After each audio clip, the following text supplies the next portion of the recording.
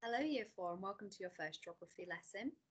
Uh, you had history last time, so this is the first time you're doing geography in Year 4, which is really exciting. It's a really, really interesting topic about volcanoes and earthquakes, following on from what you did in Year 3 on rivers and mountains.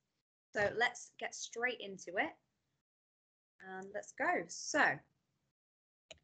to understand how volcanoes and earthquakes occur, we're going to need to know how the Earth is structured. So that's what our lesson is about today, the structure of the Earth.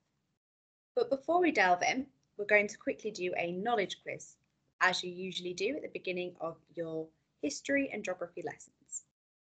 So in this knowledge quiz, you're going to have some questions on the topic we did last half term on the Romans, and you're going to also have a question on rivers and mountains. So I'm going to read the question, give you a few seconds to think, and then I will highlight the correct answer. If you need a bit more thinking time, just pause me and then when you've had a think or written something down, un unpause me and continue with the quiz.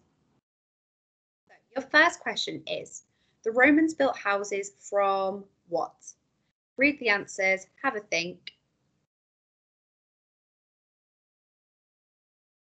So yes, if you said that the Romans built houses from brick and stone, you are correct. It was the Celts that built houses from wattle and daub. The Romans came and built them from brick and stone. Question number two. The building in the centre of a Roman town was called a what? In the centre.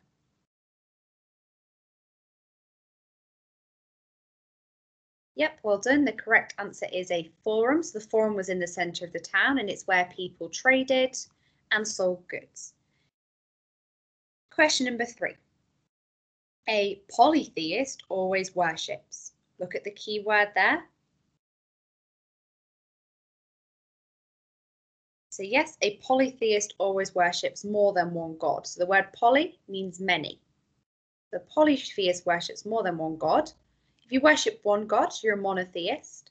And Druids were the Celtic priests. So they weren't the people that the Celts worshipped, but they were the priests. Question four. Which item of jewellery did the Romans introduce to Celtic Britain?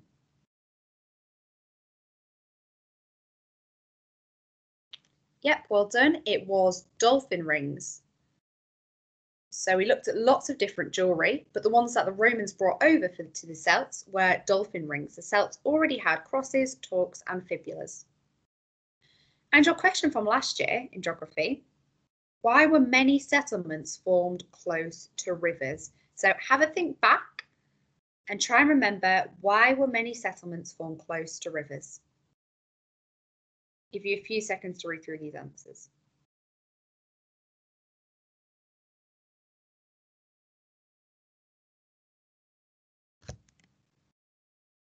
And if you got it, well done. It is this first one here. Many settlements were formed close to rivers because it made it easy for people to trade goods and transport goods by boats. Well done. Let's get to our lesson. So our lesson today is looking at the structure of the earth.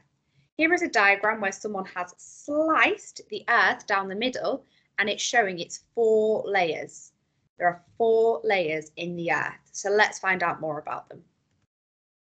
The first layer that we can see on that diagram, this part here, which probably looks the most familiar to us, the crust is where we live. Two thirds of the crust is covered in oceans, and only one third of the crust is covered in land. So if you think of all the people in the countries in the world, they only take up one third of the crust. So the rest is ocean. So there's more ocean than there is land on our Earth. The crust is hard and solid, but it's not very thick. So again, going back to this picture, as we can see, you can see it's a lot thinner than some of the other layers. That is the crust. The layer beneath the crust is called the mantle. The mantle is the thickest layer of the earth and it's made up of hot molten rock called magma. The temperature is extremely hot in the mantle. So going back to our diagram again, you can see that the mantle is much thicker than the crust and it's a lot, lot hotter. So a human couldn't go there we wouldn't be able to get down that deep and still survive because by the time you get through that thin layer of crust to the mantle, the temperature is already going up, up, up, getting very hot. The next layer under the mantle is called the outer core. The outer core is the only layer of our Earth which is a liquid and it's made of iron and metal. Here we have somebody making something and scientists think this is what the Earth's outer core mostly looks like. So it's a liquid, it's very, very, very hot. At the centre of our Earth, so here's another diagram which is very similar. At the centre, we have the inner core. So the inner core is the absolute hottest part of the Earth. It's about 6,000 degrees. So at the moment in London, it's about three degrees if we're lucky. So you can see how much hotter the inner core is than the temperatures that we are used to on the crust. Now, the inner core is actually solid. It's a solid metallic ball made mostly of iron. And it's a solid, not a liquid, even though it's so hot, because there's so much pressure on the inner core from the other layers of the earth that it's it becomes a solid. There's no room for the particles to move around so it's compressed into a solid because there is so much pressure. So let's quickly go through them again. We have crust. We have mantle. We have the outer core and we have the inner core. So these are the four layers of our earth. The crust here is the thinnest part where we live. We then go down to the mantle, which is the thickest layer. We then journey to the outer core, which is a liquid, and then we get to the inner core, which is a metallic solid ball, which is extremely hot.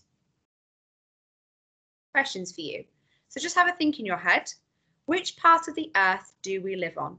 And in three, two, one, tell me. Yeah, well done. We do, we live on the crust.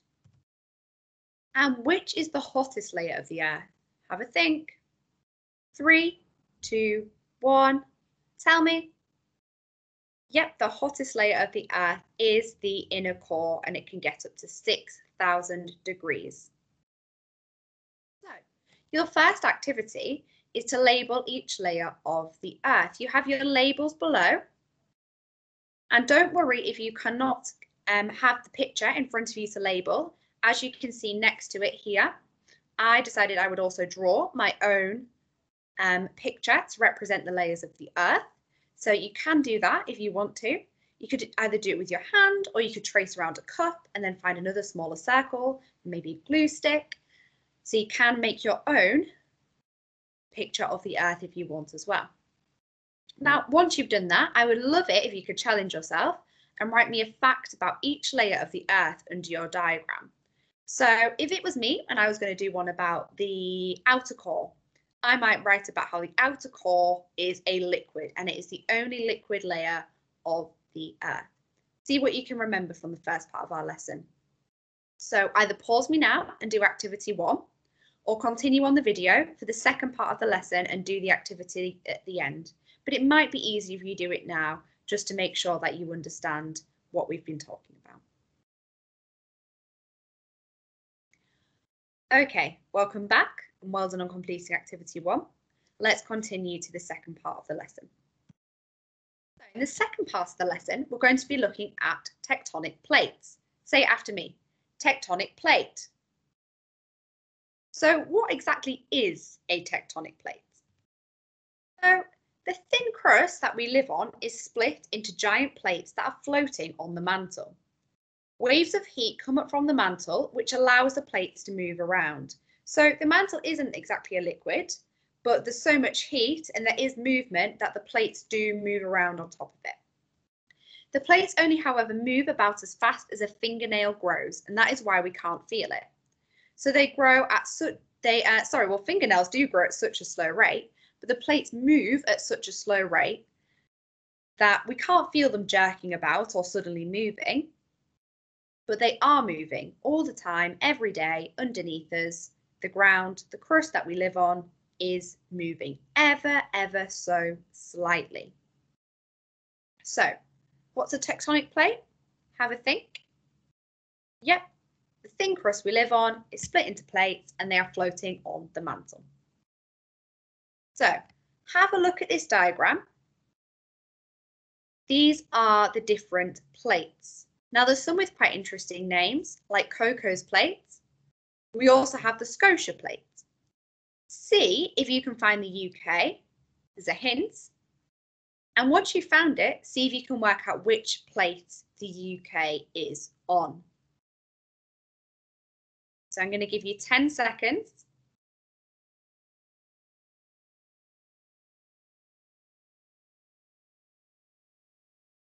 So well done if you spotted the hint. It is inside this yellow circle, the UK. Go around it again. And it is on the Eurasian plate. Now, some of you might have worked out why this plate's probably called the Eurasian plate. It's called the Eurasian plate because it has both Europe and a large part of Asia on it. So it's the Eurasian plate. So well done if you found the UK and well done if you worked out which plate it's on. Ooh, coming back. How do tectonic plates move? Quizzing you again, 10 seconds, have a think. How do tectonic plates move?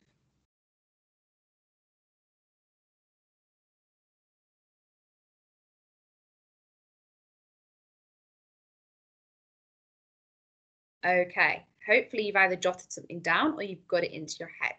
So tectonic plates move because heat comes from the mantle and the plates are floating on the mantle and the waves of heat mean that they move a little bit. So well done. So plates move, we've learnt that. How do they move? Now there's three different ways that the plates move. So as we can see on this map, where the white lines are, these are called plate boundaries. So it's kind of where the plates slot together like a jigsaw. But as we've said, they're moving. So what happens when they move towards, away or past each other? So the first type of plate boundary that we have is a divergent plate boundary. My turn, your turn. Divergent. Divergent. So a divergent plate boundary is when two plates pull apart from each other. We're going to do an action to represent this. Everyone get your arms like this. So divergent plate boundaries when two plates pull apart. So we're going to do this. Divergent. Everybody? Divergent. Divergent. Excellent. That action will help us remember that a divergent plate boundary is where two plates pull apart from each other. So when two plates move away from each other, they create a divergent boundary. And when this happens, new ocean floor is formed. So if we have two plates pulling away from each other. Obviously, they won't actually move that much.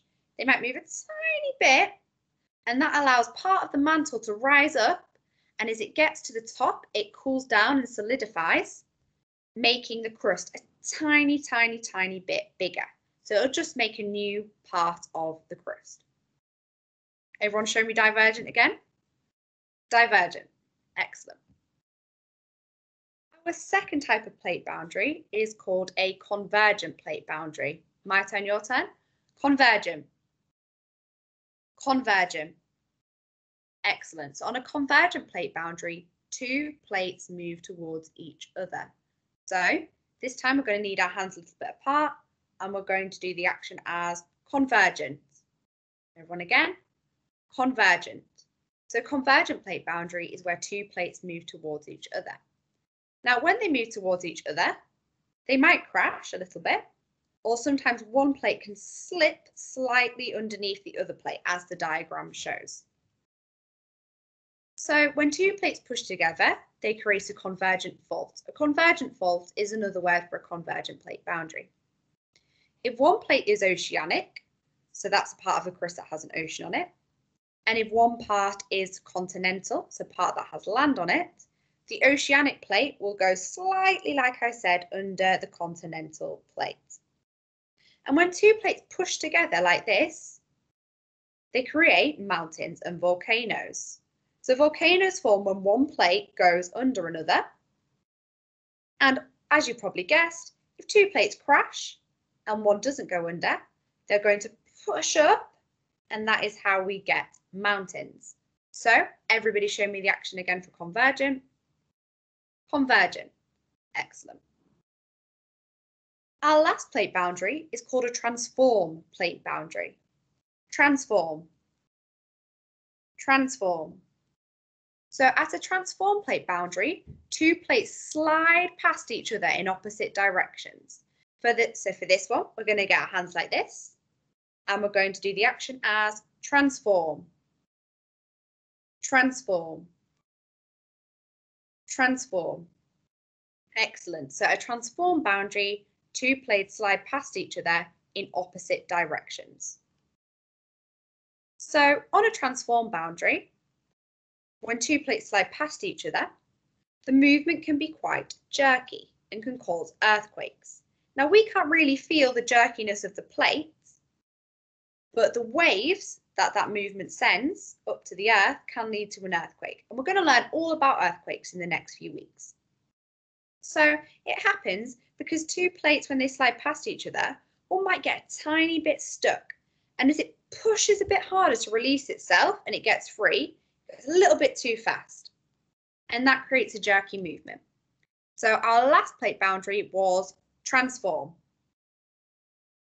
Excellent. So show me your three plate boundary actions. First, I'd like you to show me divergence.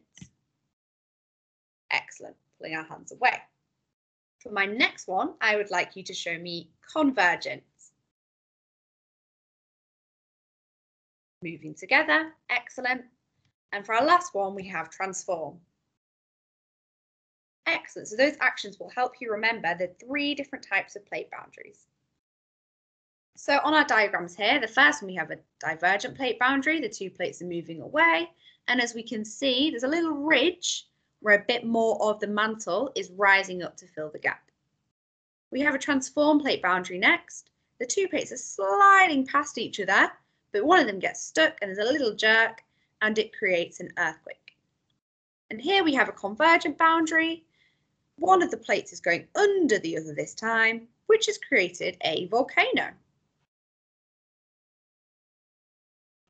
Second activity, you have three little mini paragraphs to complete about the three different plate boundaries. You have words on the sheet to help you. So as you can see here, for the title of this first one, you've got something plate boundary. So you're going to need to decide whether this one is divergent, convergent, or transform. Then you will need to complete the sentences. Again, if you don't have access to the sheet very easily, you can just write these down. That would be great. And I look forward to seeing all of your geography work on Seesaw. Have a good rest of your day, year four. And I look forward to our next geography lesson where we will be looking at earthquakes. Now, don't forget to practice remembering your plate boundaries with your actions.